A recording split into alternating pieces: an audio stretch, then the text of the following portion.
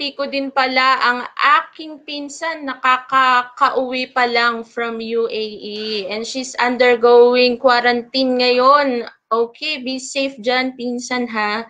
And I uh, I also want to greet the Lopez Felipe family, the Bagtas family, and Santos family.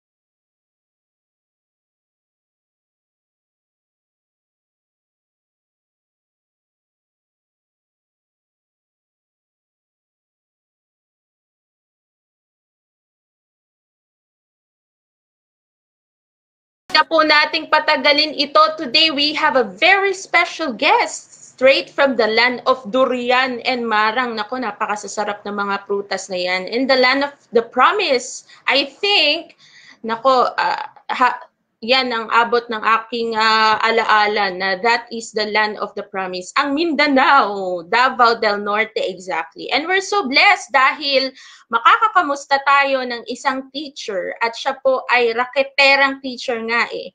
Um, an ESL teacher abroad and home-based online teacher. O di ba? Marami tayong pwedeng matutunan sa kanya today kung paano dumiskate ngayong pandemic. Uh-huh. Yeah. So sit back and relax while joining us here on our FB Live. And if you have greetings for your friends, families, please don't hesitate to comment them on the comment box. And if you have questions too, aba ay sasagutin at itatanong natin yan sa ating special guest later. And all right, kabayan, let's all welcome our very special guest for today sa ating Kabayan on the Move the raketerang teacher of Davao, de, Davao del Norte is none other than Miss Relen Calihana.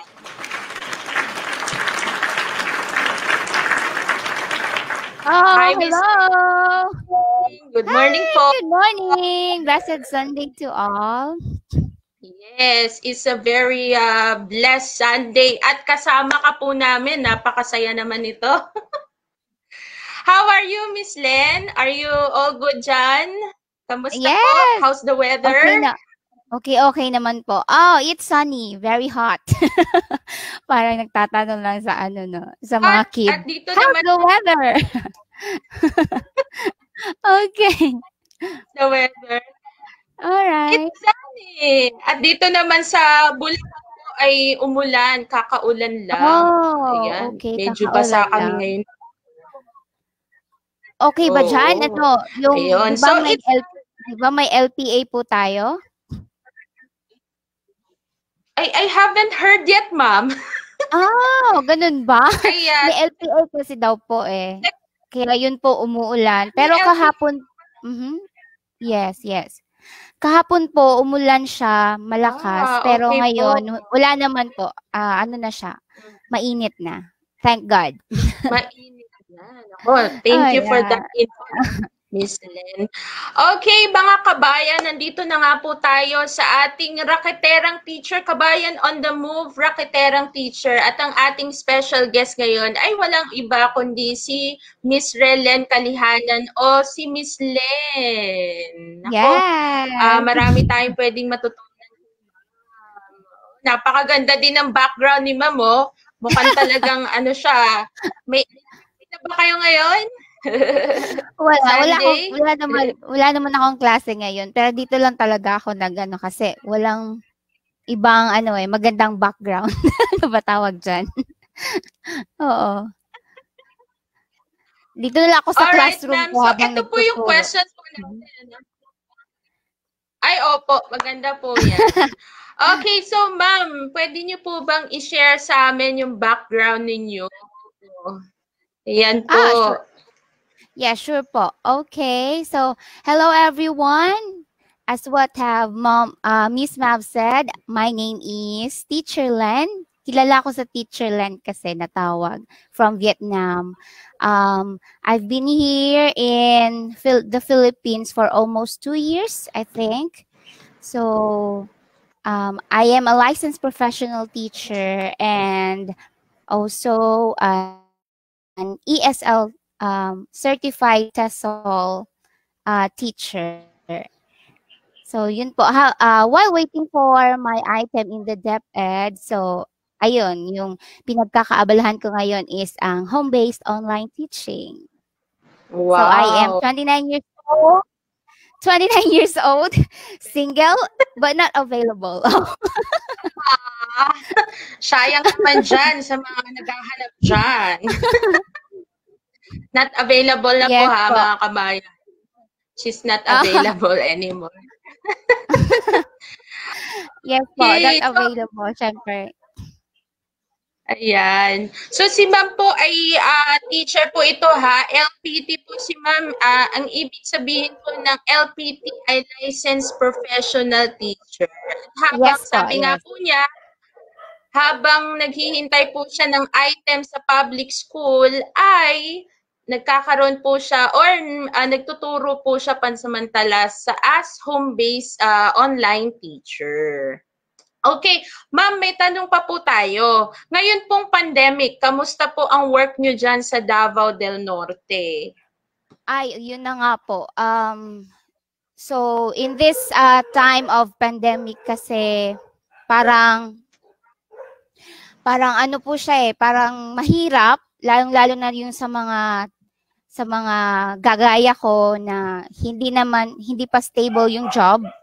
So, mahirap po talaga siya. But, but still, God is so good because, um, binibigyan po niya tayo ng ano, ng trabaho kahit na sa likod ng pandemya, sa likod ng ah, mga kinakaharap na natin ngayon, still God supply all our needs.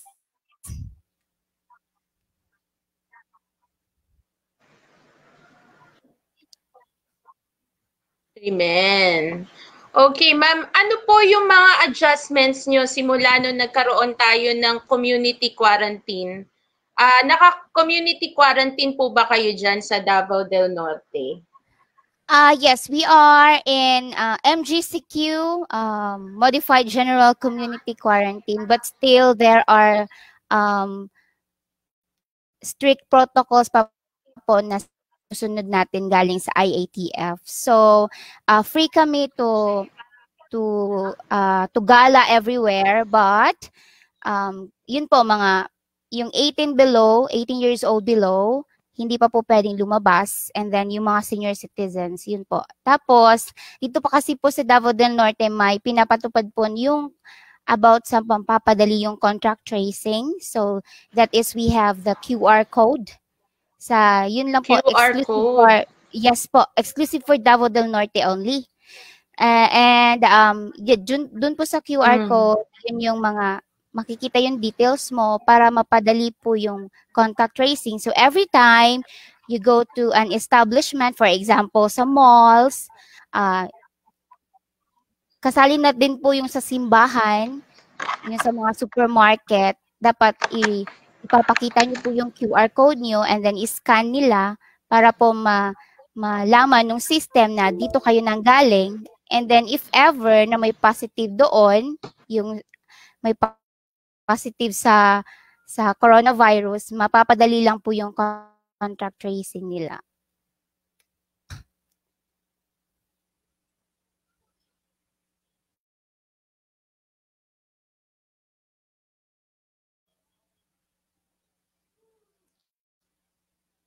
Ayun, okay. So, bago po sa akin yung QR, ano po ah, buti pa dyan sa ano ah, Davao del Norte.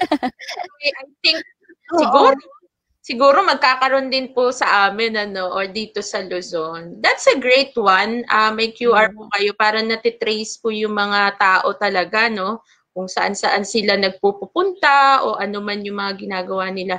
And maganda po doon, no, kapag positive or negative sila, natitrace din. Ang galing naman. Yeah. Sino po niyan? Ah, opo, ah, yung head po ng IT di ah, yung head po ng IT dito sa Davao del Norte, yun po ang gumawa nung ano, nung mga ganyan yung QR code. And ano po, um, initiative po ng Davao del Norte, pamunuan ng Davao del Norte. Wow, that's a great one po. Nako, bigyan po natin ng pugay ang mga taga Davao del Norte leaders. Ano po? Uh, nyo. Napakapalad po ng mga tao na nahandyan kasi you have the initiative to do that. Yes. Anyway po, uh, uh, bago po natin uh, itanong pa kay Miss Lynn ang iba't iba pang mga katanungan po, magpo-promote lamang tayo no sa August 22 po at 2 p.m. ay magkakaroon tayo ng The Real Estate Investing Summit 2020.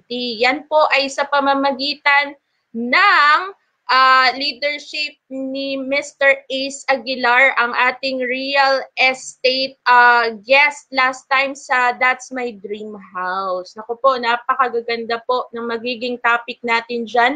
Kasi po, ang ating, uh, ang ating pinaka-title ng summit na iyan ay How to Increase Your Net Worth even during the global crisis. So napakaganda po na magiging uh, magiging discussion po dyan. Alright. So, uh, Miss Len, ano po yung mga challenges na kinakaharap nyo ngayong nasa work from home kayo? Ah, ngayong okay nasa work from home naman po kayo. yeah, yung mga challenges um hindi naman masyadong ano no, major major major na mga challenges.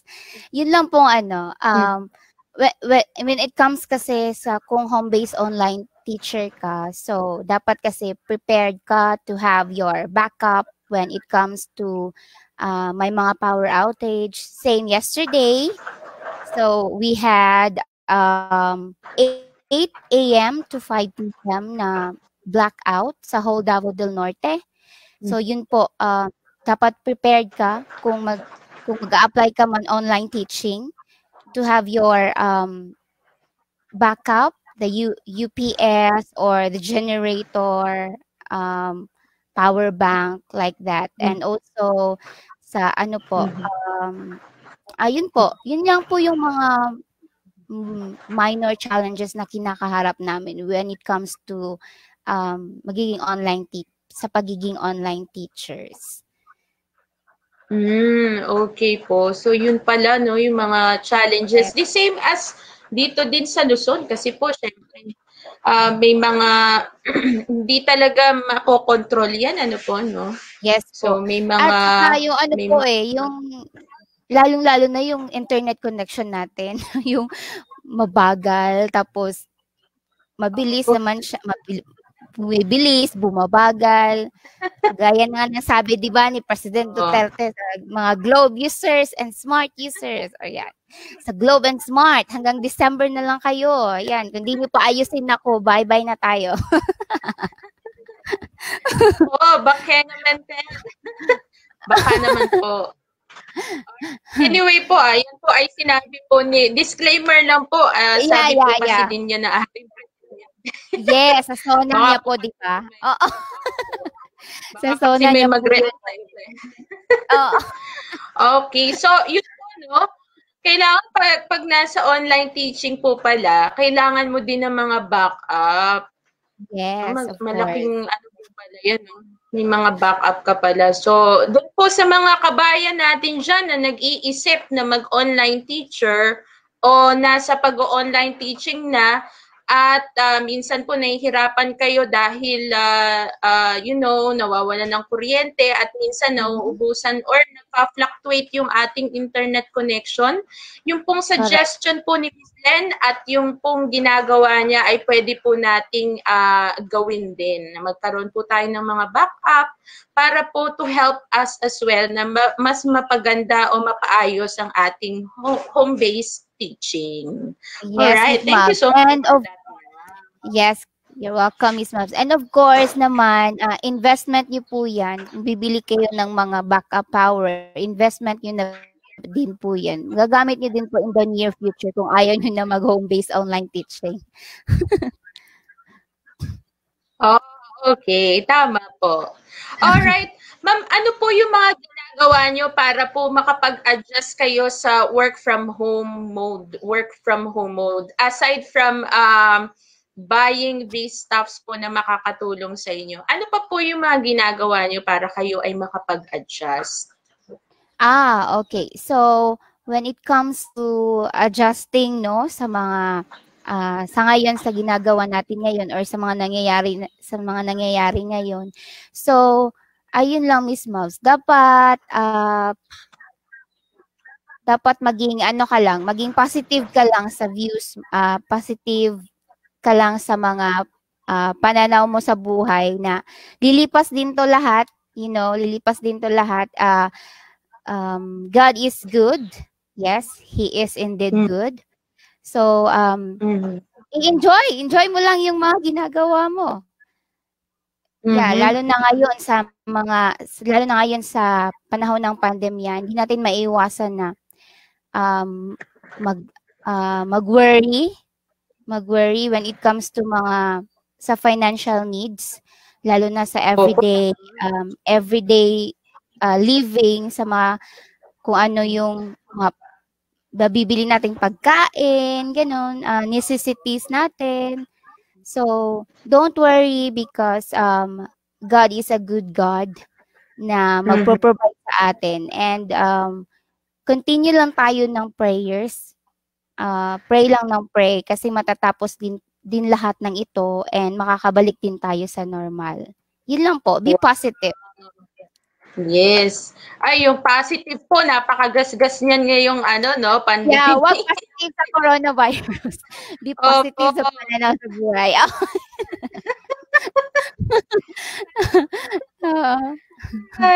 And uh, Ma'am, mas okay po ba sa inyo ang mag-work from home? Or by the way po, di po ba public teacher din po kayo? Kasama ba kayo dun sa Kasama din po ba kayo dun sa nagpe-prepare ng modules at mga videos for the online class? Ah, okay. So sa ngayon po, um, ano pa po ako, full-time home-based teacher. But mm. um, I think by the next week or next month, magiging ano na po, um, full-time public teacher. Kasi po, inaantay ko na lang po yung um, appointment letter from the DepEd. And mm. uh, yun po. So, ngayon po, full-time muna. And then, later on, magiging part-time na lang ako home-based online teacher. So, mm-hmm. okay na po yun. Magiging full-time morning and then part-time sa gabi. So, more chances of winning. Amazing, no? Talagang rocketera teacher. Oh, galing. Yun ang full-time sa public, tapos part-time sa sa kanyang pag based on Yes. Ang Diskarte lang po sa buhay talaga, Miss Mabs. Yun po. Diskarte lang sa buhay. Hindi yeah. naman po hindi naman po ba magkakaroon ng ano yan, yung sa tawag dito, yung sa timings po? Or okay naman po ba? Pakiulit po? Ah, uh, yung sa pagdating po kasi sa timing, di po ba kayo ay full-time ah, teacher? Tapos sa part-time teacher naman po sa gabi, hindi ba yan magtatama po yung timings po niyan? Or Ah, okay po. Kasi po sa amin, um ano lang siya, yung part-time, you are required to have uh three hour, just three hours for hmm. part-time. Hmm. Just you are required to have just three power three hours of teaching sa gabi. So sa gabi ko po gagawin yung ano, hmm. opo, part-time ko po. So mga 6 to 9, that's okay. Mm-hmm. And then six. sa public Opo, yung mga sa public school kasi is um 7 to 4 lang yan sila eh. 7 a.m. to 4 p.m. Yun po. Sa bagay po, no? Mm. Pero po ngayon, uh, kasi po 'di ba uh, magiging uh, full-time teacher na po kayo next week. May mga preparation na ba kayo na ginagawa sa sarili ninyo to uh, to help yourself din kasi magkakaroon na tayo ng bagong normal sa pagtuturo. Yes. Yes po. Um kasi when it comes to um ngayon yung normal sa DepEd, so mahirap po talaga siya lalo na sa mga first timers Yeah, mahirap siya. Mm-hmm. Yun nga mga ibang friends ko na mga teachers din, mas gugustuhin pa daw nila na mag face-to-face kaysa online kasi bago po sa kanila yung, ngayon, yung normal. New nga, bago. so, ayun po. Um, ako, um, ayun po, um, nag, sumusubaybay ako sa mga webinars, mga ganun, para Ay. naman po ma madadagan yung um, knowledge ko when it comes to kasi techy na po siya ngayon masyado eh. Pero sa Tama. ngayon, yung ano ng, ng DepEd is hindi pa mag-online. Parang hindi pa sila mag-online class. Parang modular pa. Parang dinedevelop pa nila yung sa online online teaching. Kasi hindi pa mm. masyadong um, knowledgeable yung ibang teachers. Yeah. Mm. Okay. Uh, dyan po sa Davao del Norte po, no? Sa, just to let you know, mga kabayan po, ako din po ay natira po dyan sa Davao del Norte, sa Tagum City. At ako po ay nakapag-aral dyan sa, sa, ano nga ba yung uh, school dyan, katabi ng, sa may Osmeña Extension. Ay, kasi Is yung mga University public schools... of Mindanao? University of Mindanao ba, Miss Maps? Hindi po, ano yon sa elementary school siya. Magugpo. Ah, Magugpo. Ah, Magugpo East. Ah, okay. Right, sa Tagum. Yeah. oh, Kami po nating mga mga friends po dyan. Nako, binabati ko po si ah. Aileen De Lima. Yan po ay aking kababata at classmate ko po yan since uh, grade 3. Ayan, hanggang ngayon ay nag-uusap pa rin kami. At nasa UP na po siya. Actually, siya lagi wow. yung nasa, siya lagi yung top 1 sa amin eh. Hanggang nung pag-graduate. Ako kasi pang, ano ako, pang fourth that time. Laging pang fourth yan. so, yan. Um, okay. kamusta po ang ano dyan? Ang, uh, ang uh, what do you mean, uh, what do you call this one? Yung ating, um, yung dami ng students, yung kabisihan, ngayon po ba mm. nababalitaan niyo po, uh, na, nakakabalita ba kayo sa dami na ng mga students na nag uh, nagpalista? Ah, uh, yes po. Marami-rami din po yung ano, enrollments ngayon. Sabi nga oh. nung uh, sabi nga nung iba, mas marami pa daw ang enrollees ngayon kaysa nung nakaraang ano, nung nakaraang taon. So, okay. that's a big uh, challenge to all the teachers. Mhm. Big challenge talaga. Yes. Nako, ma'am. Parang mapapasabak. So, papapasabak talaga ako, Miss Mav, sa new normal. Yes! oh, naku, ma'am, uh, mga kabayan, just to let you know din po, si Miss Len po ay nakasama po natin na nag-work abroad. Okay? So, ma'am, uh, bago po tayo ma, ma, uh, mag uh, patuloy pa dun sa questions about here sa Philippines, can you please give us a little background po about sa mga na-experience nyo abroad? Ah, okay po. Yeah, so my first job was um with the Miss Mavs at Vung Tau. Yay, Vung Tau, uh, Vietnam. So um, I I stayed yeah, I worked in Vietnam for almost three years. So, after no, nag-transfer ako sa Ho Chi Minh City. So, ang tinuturuan ko naman sa Ho Chi Minh City are uh, mga kids. So, in a Montessori school sa Ho Chi Minh City. So, yeah, that was mm-hmm. um, mm-hmm two years ago, right? Two years ago. Oh, almost three years din ako sa Vietnam. So, sa mga friends pala natin dyan sa Vietnam, Ho Chi Minh City, hello! Sa Hanoi, lalo-lalo na si Miss, yeah, si Miss Eve. I think nanonood Miss siya ngayon. Eve. Ewan ko, nanonood ba? Evelyn. Hi! And si Miss yes. May, hello! Miss May, sino pa po ba? And si Miss January. Miss January Hello, we miss you all there. Sana naman, Miss Mouse, makabalik tayo ng Vietnam, no? After Opo, this makakabalik tayo dyan. Actually po, um, yung dati po nating uh, mga, yung mga contacts po natin, ay kinokontak po mm-hmm. tayo. Mm-hmm. Tayo talaga mismo ang kinokontak kasi uh, marami silang plans dyan sa lugar na yan. And yes, of I, course. Uh, when it comes to pandemic po, no, uh, nabalitaan ko, nagkaroon ulit sila sa bandang Danang. Pero mabilis Opo. ang pag-responde ng ano eh, ng Vietnam eh. Mabilis ang mabilis silang kumilos. Kaya nga po very um very interesting or very ano uh, very good talaga yung ano sa Vietnam country and also sa Thailand Miss Mouse parang nag-zero ano na sila zero case na sila eh. Sana naman wow, we're praying and hoping na sa Philippines naman sa susunod mag zero case na tayo. Opo, amen, amen yeah. to that and uh, I hope tayo po ay sumunod sa protocol, mga Oo, kababayan. Po, eh. Sunod po tayo sa protocol. Make sure to wash your hands uh, kapag uh, hindi naman importante yung paglabas natin ngayon, eh wag na po muna tayong lumabas. At kung lalabas man, make sure na mag-wear tayo ng face mask at magkakaroon na nga din po ng mandatory nga ito, ang face shield on the 15th of August. At uh, yun nga, magsuot tayo ng face shield, face mask, at mag-social distance po tayo.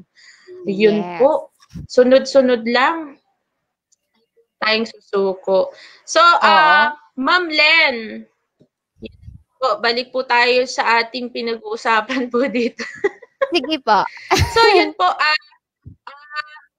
second to the last question po. Ma'am, kailan po kayo nag-decide or uh, nag-decide na magstay po sa Philippines na lamang or babalik po pa po ba kayo ng ibang bansa? May plan ba kayo? Oh, okay. So, um, because uh, la- January 2019, nag-decide na po ako na bumalik na sa, uh, umuwi na sa Pinas for good. So, hindi na po ako babalik abroad. Siguro babalik man, Miss Mav, siguro mag, ano lang, mag gala-gala. Ayan, wow, gala. Parang maraming masyado pera, no? yeah, vacation lang, ganon. Oo, vacation. Kasi, alam mo naman yung nangyari sa family namin, di ba? Kaya, nag-decide ako to to stay opo, in the opo. Philippines for good na po. Yun po. Mm. So, by the grace of God, yeah, um, hindi na po ako pinabayaan kahit na ngayon, wala pa po akong um, stable na job but mm-hmm. I'm still waiting. Yeah. Um, almost yes. there, Miss Mavs. Yeah. So, talagang Yeah, Yung ganun po. ni Ma'am Len eh, yung diskarte po ni Ma'am Len. Ma'am, aside po sa pagtuturo niyo or uh, pag-work niyo po from home, ano pa po ba yung mga nagbebenta-benta pa ba kayo dyan? Ano-ano pa po ba yung mga Ah, yes po, mga ano lang po, mga yung mga gamit po natin, ah, when, lalo-lalo na ngayon, in need ng mga teachers kasi frontliner na din sila sa school, di ba po? Kahit na walang face-to-face, but frontliner ah, frontliner na din sila kasi po mag mag-house to house yan sila. Yung iba mag-house to house, Mm. magde-deliver ng module. So kailangan nila ng protection sa sa sa ano sa sa face, like that face mask and face shield. So ngayon po Mhm. um sideline ko lang din aside from the uh, aside from teaching uh, online. So sideline ko yung pagbebenta ng mga face mask and also the Mhm. face shield. May face shield din po kami. Woo!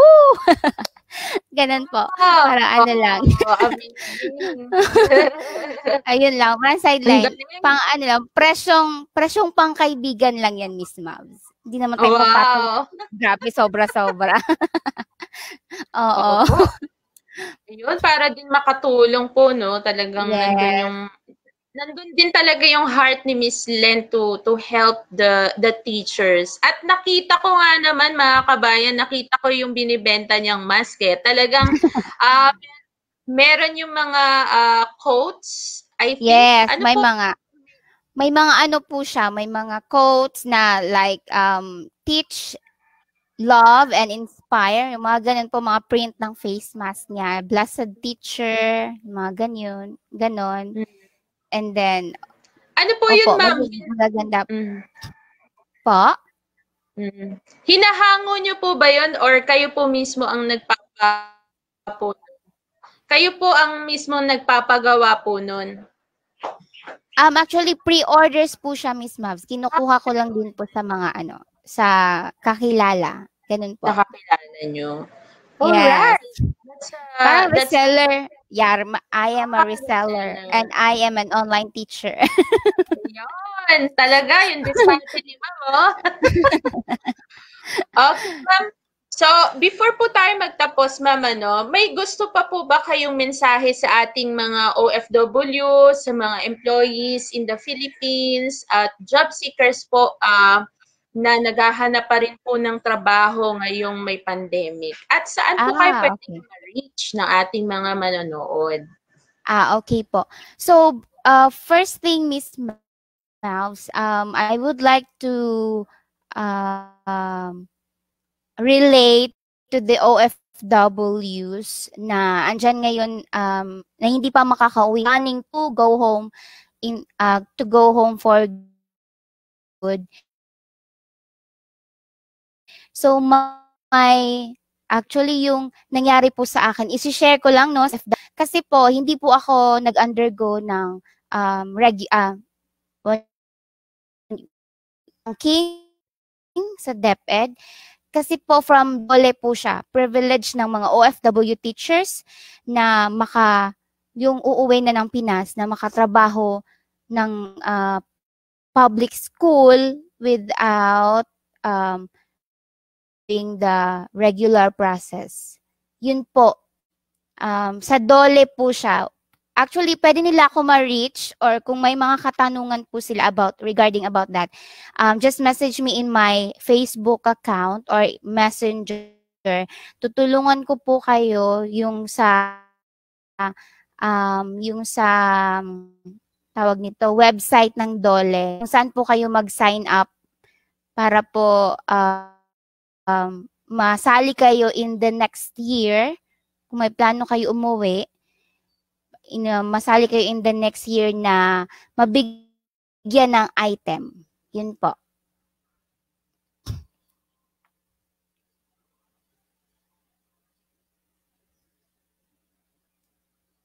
Okay po. And how about po dun sa mga employees natin in the Philippines? Do you have a message for them po? At saka po dun sa mga job seekers po na naghahanap pa rin po ng trabaho? Ah, okay. Sige po. Um, sa mga naghahanap pa ng trabaho, lalong-lalo na ngayon sa uh, panahon ng pandemya, uh, wag po kayong mawalan ng pag-asa. Darating at darating din po yung para sa inyo na ibibigay ng Diyos na work. Ako nga po dati eh, um, ano ako eh, nag, nag ako police. sa police, nag-apply pa ako sa police. But, um, hindi tayo kalooban ni, ni Lord na dun na guys. So, nag-abroad ako, ayun, sa Vietnam for almost three years. And then, nag-decide ako umuwi. And then, after that, um, naging home-based online teacher. At ngayon nga po, sa favor ni Lord, bibigay na niya yung um, yung item ko. So, yun lang po masasabi ko sa uh, sa mga naghanapan ng trabaho. Um, be, uh, be positive and be patient and always um, kung ano man po yung gusto nyo na um, na ibibigay talaga yan ni Lord kung anong gusto nyo po. And in the right time, in the right place. Yan. Wow, in the right time and in the right place. Amazing nga naman. Ma'am, uh, one last request na po, ma'am. Ano po, pwede po ba namin or pwede ko po ba kayong mahininga na maipanalangin po ang ating OFWs, mga employees in the Philippines and job seekers po?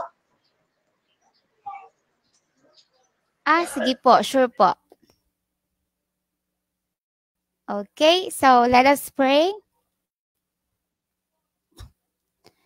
Yes, um, Heavenly Father, we thank you for this day, Father God, that um, you have given unto us. Thank you for your love, for your um, unending mercy. Uh, thank you for your uh, thank you for your mercy, Father God. And we are also praying for all the OFWs, um, just like us, that are in in their respective countries, Father God, uh, outside the Philippines, that you continue to bless them, continue to protect them, Father God, from this pandemic, Father God. And um, we also pray that you continue to give them um, their needs financially, um, physically, uh, emotionally, Father God, and also strengthen their faith in you, Lord, um, that they may be able to have um, the strength to face all uh, the challenges in life. And also, Father God, um, we are asking for your blessings to pour upon us, and we are asking for your forgiveness for all our sins that uh, we have committed. So these are all we ask in prayers. In Jesus' mighty name we pray. Amen. Amen. Amen. All right.